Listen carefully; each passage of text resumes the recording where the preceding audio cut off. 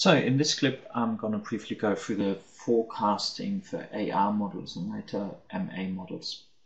So let's say we have an ARP model as this one, and um, we estimate, we use data, use data, let's say YT, where T goes from 1 to capital T, okay, or actually I used n in the lecture notes, up to n to estimate parameters. Estimate the parameters. Now we talked about how to do that in the case of AR models. That's just an OLS regression. So it means really our estimated relationship is going to be yt is equal to alpha hat plus phi 1 hat yt minus 1 plus phi 2 hat yt minus 2. Oh, I see there's a, there's a mistake. This should be a 2. I have to change that in lecture note as well. t minus 2 all the way to phi p y t minus p plus epsilon t. So that's a hat. So question is now, what do we do for forecasting? So we want to forecast observation by n. well by n we have, we use that for observation. So let's say we want to forecast one step ahead, yn plus 1. That means we want the expectation of yn plus 1.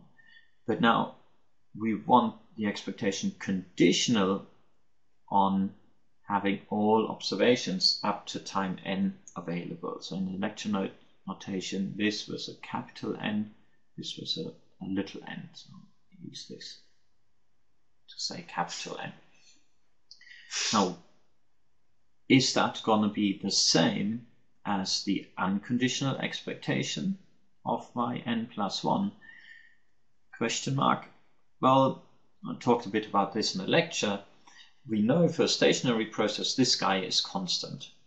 That means if there wasn't a difference, we would say we would always forecast the same. And that means it doesn't, in that case, it wouldn't really matter what the last observations or the observations up to time n were. In most cases, this is not going to be the, the case. In most cases, there will be useful information in y, yn. Okay, so therefore, in general, this is not the same. So we want the conditional expectation of yn plus 1. So what we need to do is we will basically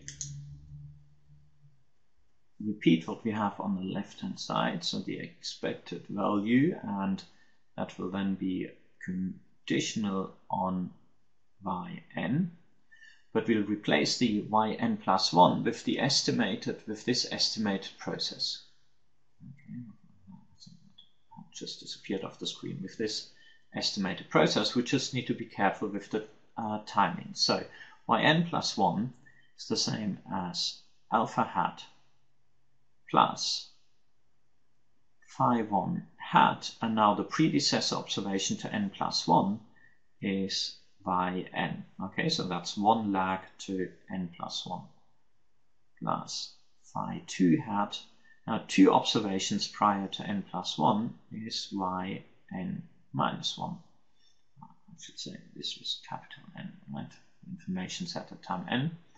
And all sorts of lags up to phi hat and now p lags of n plus 1 is y n minus p but plus 1. Okay, you can try and figure put numbers in there to confirm that. Plus epsilon t plus 1. So, now two things. Firstly, we need to recall what is in here. In yn, are all the observations available at time n. So n, n minus 1, n minus 2, and so forth, all past observations. That means available, which values here are available. We're taking expectations of a random variables. So we'll have to figure out with information available time n what is really a random variable. So let's see what do we have. All the blue ticks is we have that available. Well, we have estimates of alpha of all the coefficients actually. So these are not random variables. Well, they are random variables, but we use the estimated values for our estimation. Now what about the yn? yn, that's available here as well. So that's not a random variable anymore. yn minus 1 is available, so that's fine. Yn minus p plus 1 is available as well. So all of these blue things can now come out of the expectations operator because at time n we have these guys.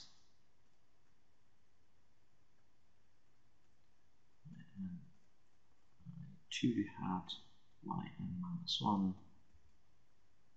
plus oh, there was a p missing phi p hat y n minus p plus 1.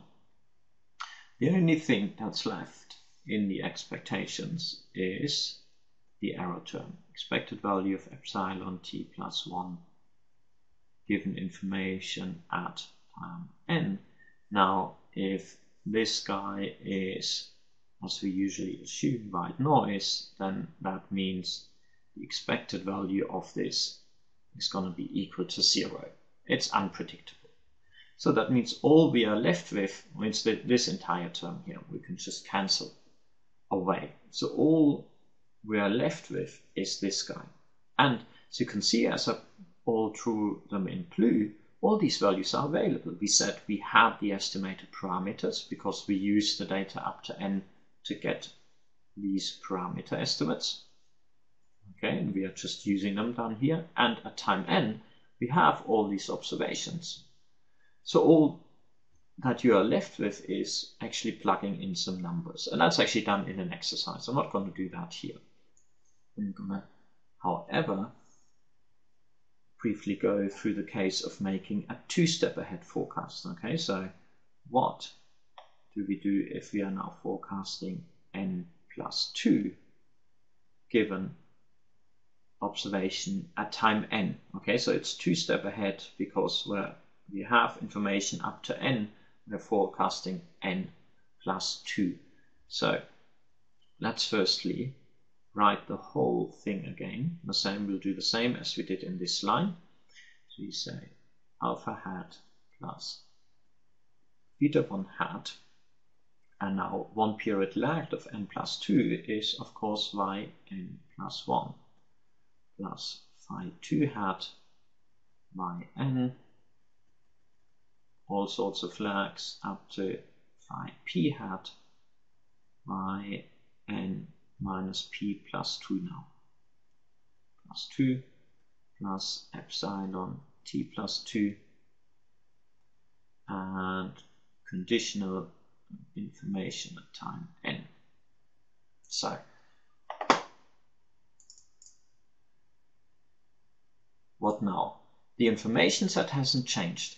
We still have, let's use our blue pen again, we still have this information here available. So let's make ticks again. Firstly, all the coefficients, they are available.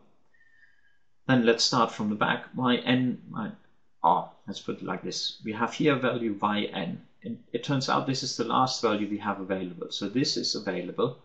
All values of y before that that's the ones to the right, are available as well. However, the one that is not available is this guy here. That is not in the information set yn. So we can't, the, the expectations operator will still operate on this one. Of course, the expectation of the error term at t plus 2 given information at n is exactly the same as this one. That is 0 again. Okay? We can actually apply this to this one as well. Okay, so therefore, what we have is the following. This is equal to alpha or blue for everything we have. Alpha hat can come out again, plus phi 1 hat, this constant, this can come out. So basically we have now the expected value phi 1 hat times yn plus 1, but this one is a constant phi 1 hat, so it can come out the expectation. And all we are left with here is the expectation of yn plus 1 given the information set at time n.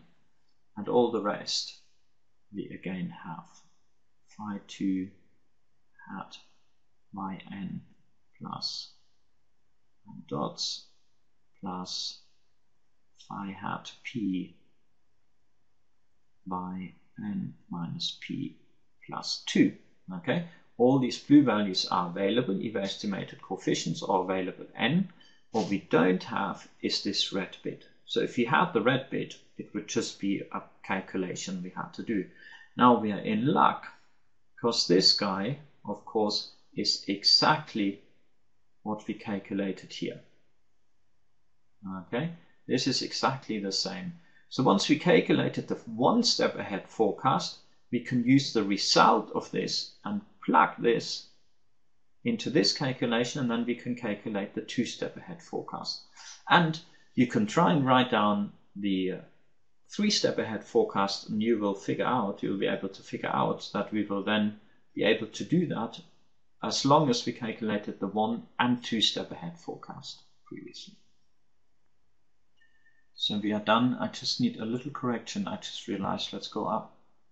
Here we had our process equation for the ARP. That was this guy here.